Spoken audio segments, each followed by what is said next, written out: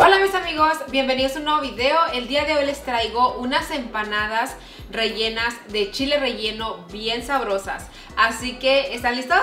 Pues vengan. Vamos a comenzar por poner los chiles a asar. Aquí tengo ya mi comal caliente. Y de chiles van a usar los de su preferencia.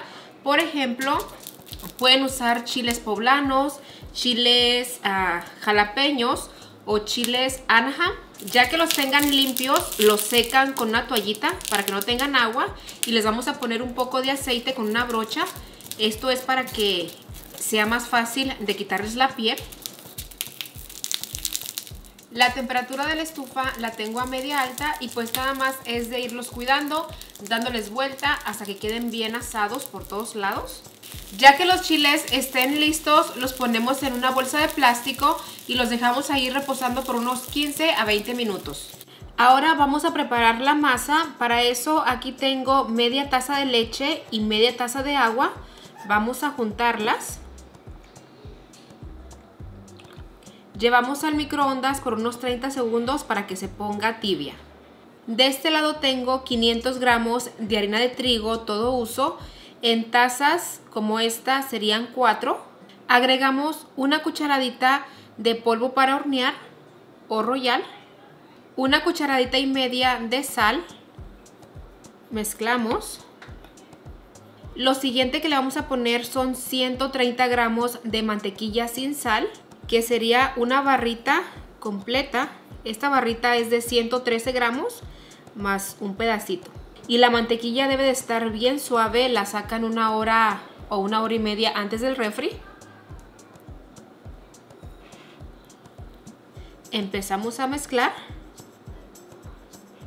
ya quedó listo, agregamos el agua con la leche.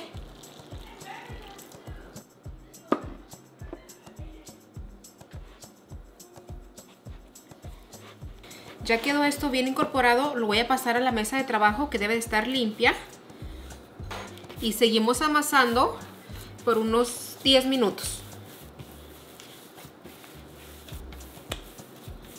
Ok, pues esta masa ya quedó lista. Así es como les debe de quedar. Se siente bien suave, grasosita. La voy a poner para atrás en este recipiente. Tapamos y dejamos reposar por 20 minutos. Como los chiles ya sudaron, vamos a empezar a limpiarlos.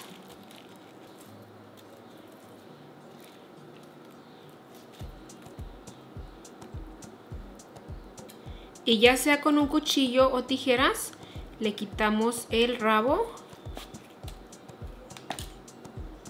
y sacamos las semillas.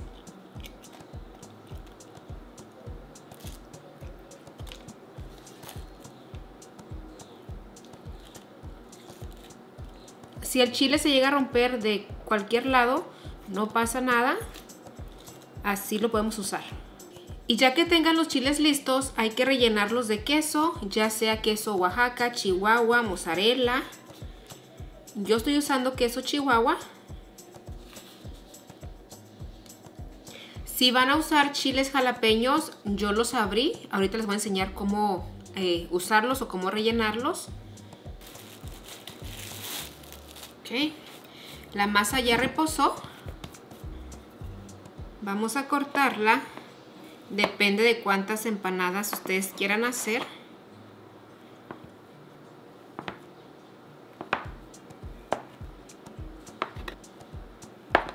Yo dividí para hacer 8 empanadas.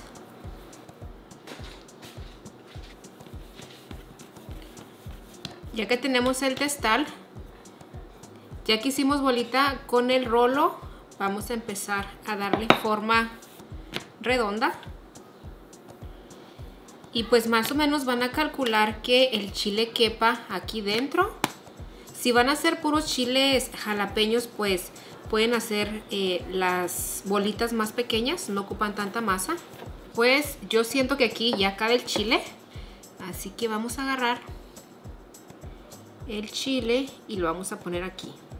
Esto va a ser completamente opcional, pero yo soy un poco saladita y no me gusta que el chile quede desabrido, así que yo le voy a poner un poquito de sal en la parte de afuera.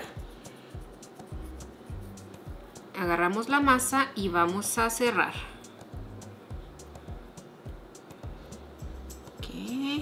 Estas van a ser tremendas empanadas. De la parte de arriba aplastamos un poquito para que salga el aire, así.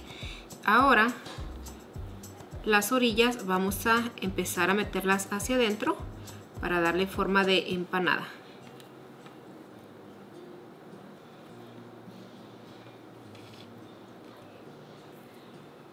Y pues vean, aquí está la primera empanada lista.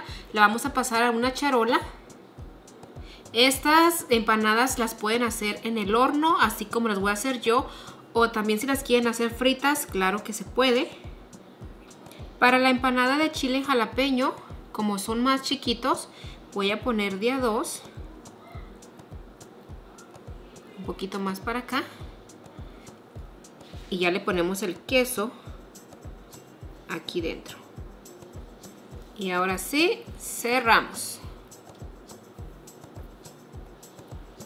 Y así mismo amigos van a hacer con todas hasta terminar. También lo que pueden hacer es con un tenedor aplastar aquí la orilla.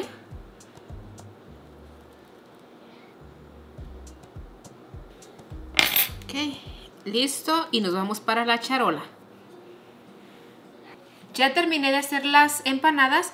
Tienen que engrasar la charola, le pueden poner mantequilla o manteca vegetal en la parte de abajo ya de último van a batir un huevo que esté bien batidito y también a este punto su horno ya debe de estar caliente a 385 Fahrenheit que serían como 190 Celsius. Lo prenden unos 15 minutos antes para el momento que estén las empanadas listas, el horno ya esté bien caliente.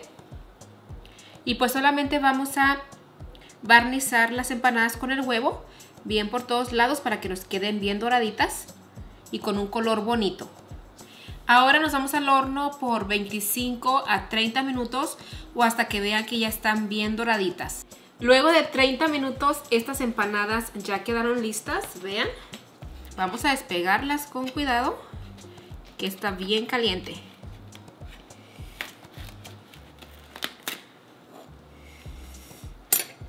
Vean, todas quedaron perfectas, solamente esta fue la que se abrió un poquito, pero no salió nada. Y pues estas ricas empanadas las pueden hacer para acompañar un buen platito de frijoles de la olla, un plato de lentejas, una sopita de fideo o simplemente así solitas con un poco de crema mexicana, salsa verde. Pues ahora sí amigos, vamos a abrir una empanada. Ya están un poquito tibias porque pues de aquí que tomo la foto y que todo eso, ya saben. Voy a cortarla aquí por la mitad.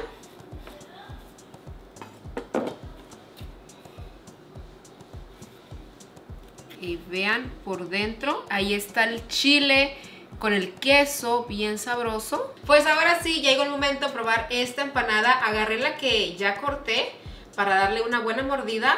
Ahí va, solo por ustedes, no se queden con el antojo, hagan estas empanadas, estoy segura que les van a encantar. Si no les quieren poner queso, lo pueden cambiar por carne molida, le ponen el chile, carne molida y también les van a quedar bien sabrosas. Ahí va, salud. Mmm.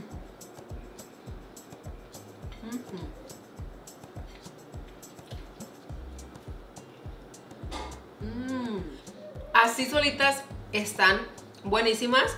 Aquí, como les digo, en la parte de arriba le pueden poner un poquito de crema mexicana, un poco de salsa verde porque pues estos chiles no pican. Un poquito de salsa y más ricas. Mm. La masa está muy rica. Mil gracias por acompañarme hasta el final. Ya sabes que siendo por aquí, te invito a que te suscribas y que la campanita y regálame tu like, por favor. Nos vemos para la próxima con más recetas que a todos nos encantan, ¿eh? Dios, acompañen estas empanadas con una agüita bien fresquecita o con una coquita, ¿por qué no? Adiós.